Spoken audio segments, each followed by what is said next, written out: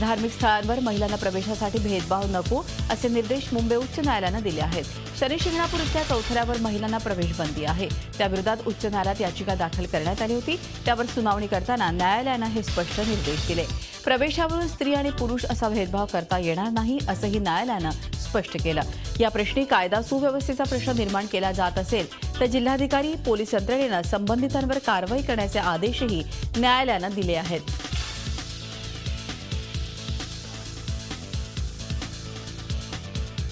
यावर पूजेचा अधिकार सर्वांना आहे. त्यानुसार राज्यात कुठेही भेदभाव होणार नाही अशी भूमिका राज्य सरकारनं न्यायालयात मांडली आहे.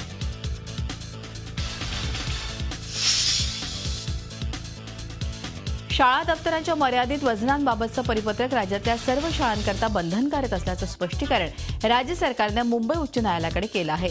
राज्य शिक्षण मंडळासोबतच आयसीएसई आणि सीबीएसईसाठी सुद्धा हे बंधनकारक असल्याचं सरकारनं म्हटलंय. या परिपत्रकाचं पालन करण्याकरता शाळा व्यवस्थापन नेमके काय उपाय करत आहेत याची माहिती पुढल्या सुनावणीच्या वेळी देण्याच्या सूचना उच्च न्यायालयानं केल्या आहेत. अठ्ठावीस एप्रिलला या याचिकेची पुढची सुनावणी होते आहे. दरम्यान शाळा दप्तराचं वजन वाढणार नाही याची जबाबदारी सरकार सरकारनं शाळा मुख्याध्यापक आणि शाळा व्यवस्थापनावर सोपवली आहे. तसंच या नियमाचं पालन न करणाऱ्यांवर कारवाई केली जाणार असल्याचंही सरकारनं न्यायालयाला स्पष्ट केलं आहे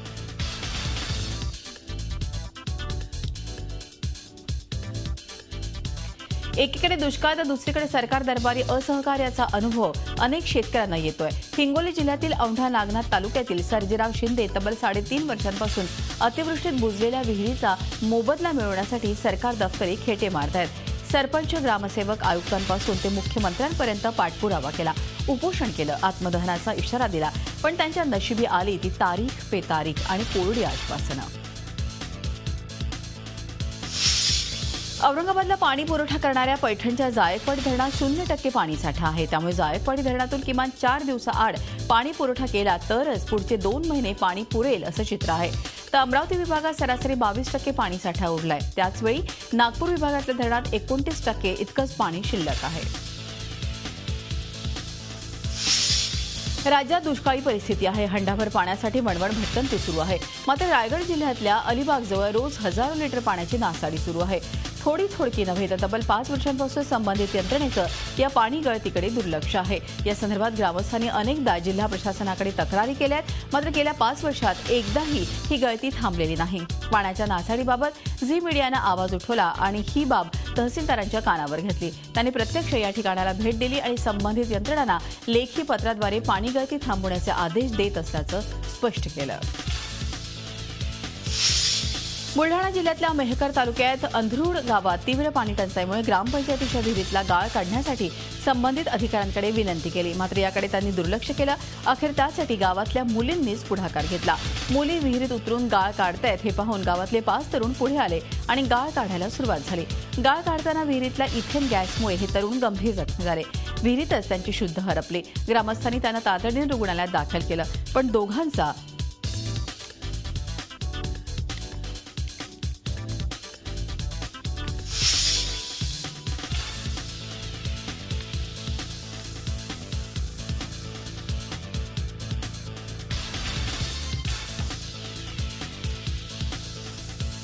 साताऱ्यात वाळू माफियांच्या मुजोरीचा कळस पाहायला मिळालाय. फलटणचे मनसे जिल्हा उपाध्यक्षाला अमानुष मारहाण करण्यात आलेली आहे. युवराज शिंदे असं या जिल्हा उपाध्यक्षाचं नाव आहे. बेकायदा वाळू उपशाविरोधात तक्रार केल्यानं युवराज शिंदेचं आधी अपहरण करण्यात आलं. त्यानंतर तब्बल बारा तास शिंदेला मारहाण करण्यात आली. या दुर्घटनेत युवराज शिंदे जखमी झालाय. त्याच्यावरती शासकीय रुग्णालयात उपचार सुरू आहेत. या घटनेप्रकरणी अद्याप कुणालाही अटक करण्यात आलेली नाही. यंदाचा उन्हाळा आणखीन तापदायक असणार आहे. येत्या काही दिवसात देशाच्या सगळ्याच भागात उन्हाची तीव्रता आणखीन वाढणार आहे. हवामान विभागानं ही माहिती दिली आहे. जूनपर्यंत असाच उकाडा राहणार आहे. पुढच्या काही दिवसात सरासरीपेक्षा तापमान जास्त राहणार आहे. उन्हाळ्याबाबत हवामान विभागानं पहिल्यांदाच असा अंदाज वर्तवला आहे. आता दर पंधरा दिवसांनी उन्हाळ्यासंदर्भात अलर्ट जारी करण्यात येणार आहे. महत्वाचं म्हणजे प्रदूषणात झालेली वाढ हे उष्णतेची लाट वाढण्याचं प्रमुख कारण आहे.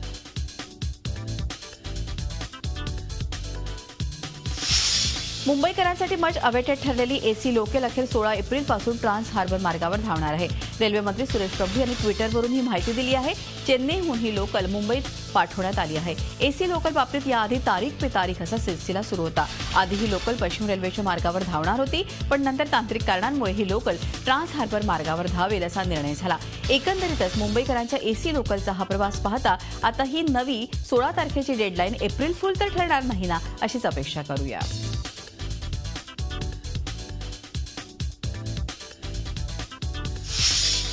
वाढती गर्दी आणि प्रवासाच्या वाढत्या ताणामुळे लोकल प्रवासात प्रवाशांना हृदयविकाराचे झटके येण्याच्या घटना वाढत आहेत.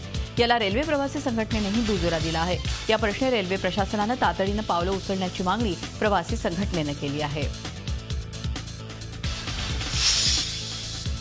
लोकशाही अण्णाभाऊ साठे महामंडळ घोटाळा प्रकरणी आमदार रमेश कदम यांची एकशे वीस कोटींच्या मालमत्तेवर ईडी अर्थात अंमलबजावणी संचालनालयानं टाच आणली आहे. यात पेडर रोड इथल्या उच्चभ्रू परिसरातील एकशे दहा कोटी रुपयांचा भूखंड प्लॉटचा समावेश आहे.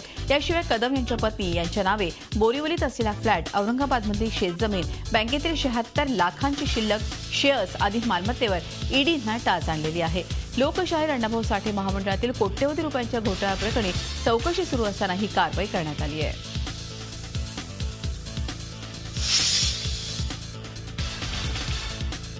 जनावरांच्या जीवावर उठलाय पुण्यामध्ये एका गायीच्या पोटातून च- तब्बल साडेआठ किलो प्लास्टिक बाहेर काढण्यात आलंय.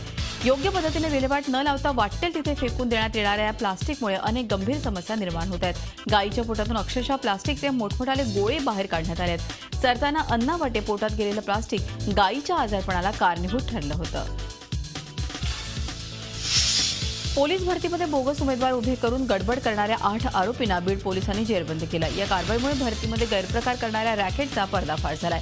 या आठ आरोपींमध्ये प्रमुख आरोपीनं यापूर्वी पुण्यात अशाच पद्धतीनं भरतीमध्ये गडबड करण्याचा प्रयत्न केल्याप्रकरणी त्याच्याविरुद्ध गुन्हा दाखल झालाय. पोलीस भरतीमध्ये उत्तीर्ण व्हायचं असेल तर चार ते पाच लाख रुपयांचा रेट बीडमध्ये काढण्यात आला होता.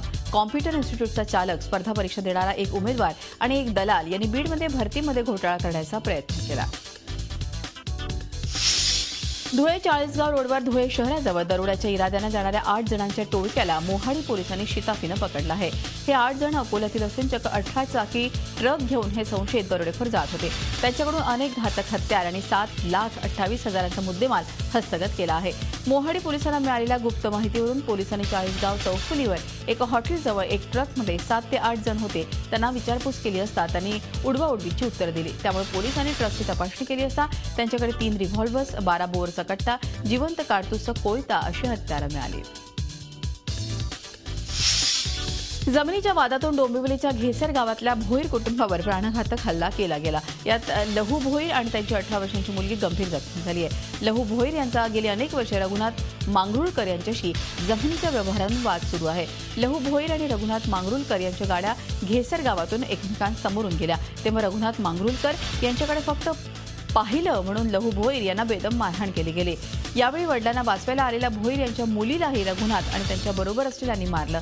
सोबतच लहू भोईर यांच्या गाडीची मोडतोडही केली.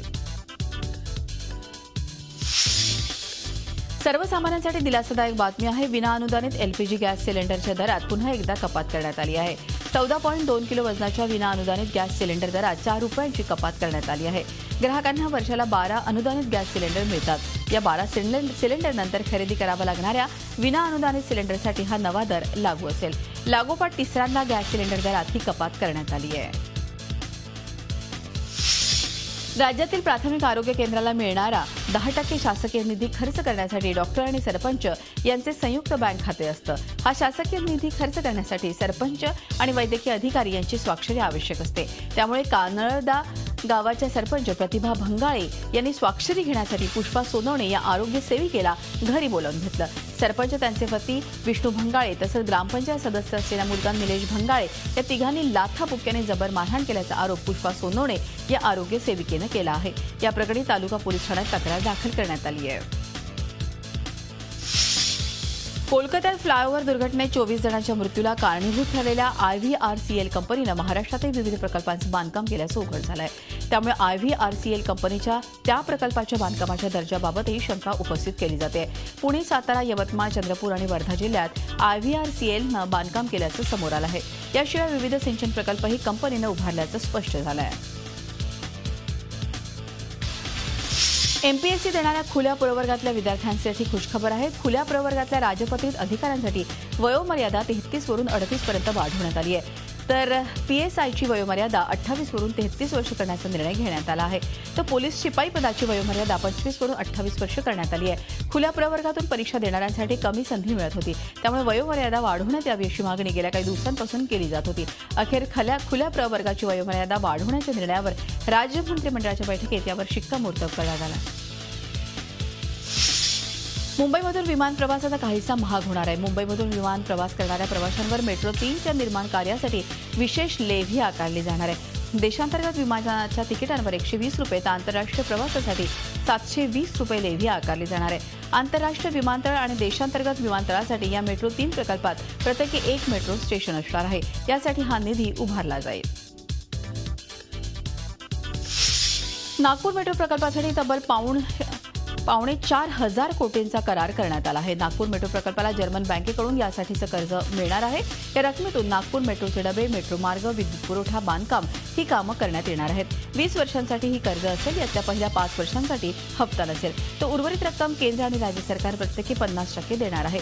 केंद्रीय आर्थिक व्यवहार विभाग आणि जर्मनीच्या केएफडब्ल्यू बँक यांच्यात हा करार झाला.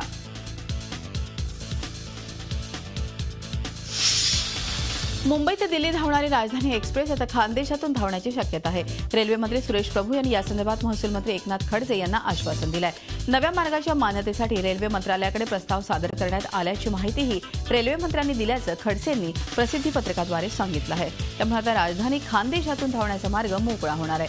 ही गाडी आठवड्यातून पाच दिवस धावणार असून नाशिक भुसावळ भोपाळ आणि मथुरेला थांबा देण्याबाबतचा विचार असल्याचं या प्रस्तावात नमूद करण्यात आलं आहे शिर्डीत लॉकअपमध्ये असलेल्या तरुणानं बेल्टच्या सहाय्यानं गळफास घेऊन आत्महत्या केल्याची घटना घडली आहे. लक्ष्मीनगरमध्ये राहणाऱ्या किरण रोकडे या युवकाला मंदिर परिसरात पाकिटमारीच्या संशयावरून साई मंदिरातील सुरक्षा रक्षकांनी त्याला पोलिसांच्या ताब्यात दिलं होतं. शिर्डी पोलीस स्टेशनचे ठाणे अंमलदार आयुष शेख यांनी या युवकाला लॉकअप गार्डच्या ताब्यात दिलं. काही वेळात या तरुणानं लॉकअपच्या दरवाजाला आपल्याच कमरेच्या बेल्टच्या सहाय्यानं गळफास लावून घेतला. हा प्रकार लक्षात आल्यानंतर तातडीनं या तरुणाला साईबाबा रुग्णालयात दाखल केलं गेलं. मात्र उपचारादरम्यान त्याचा मृत्यू झाला. नेभळटपणा नव्हता त्यामुळे भारत माता की जय बोलण्याची सक्ती करणारे आणि नकार देणारे अशा दोन्ही प्रवृत्तींवर उद्धव ठाकरे यांनी निशाणा साधलाय. स्थानीय लोकाधिकार समितीनं आयोजित केलेल्या शिवराय संचलनात उद्धव ठाकरे सहभागी झाले होते. यावेळी त्यांनी कार्यकर्त्यांना केलेल्या मार्गदर्शन भाषणात ही भूमिका मांडली. मुंबईमधल्या के जे सोमय्या अभियांत्रिकी महाविद्यालयातल्या विद्यार्थ्यांनी अथक परिश्रमातून सर्व भूस्तरावर चालणारी एक विशेष गाडी तयार केली आहे. All terrain vehicle red shift नावाची ही गाडी आहे. या गाडीचं वैशिष्ट्य म्हणजे ही गाडी बर्फ पर्वतीय प्रदेश तसंच शेत जमिनीतही सहज चालवणं शक्य आहे.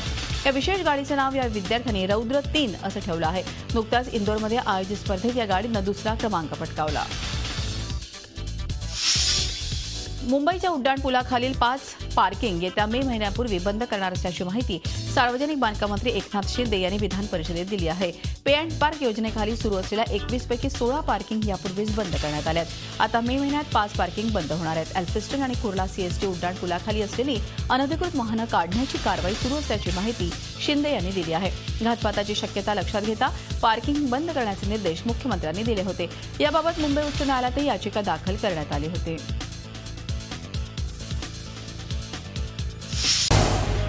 झी चोवीस तास. रहा एक पाऊल पुढे.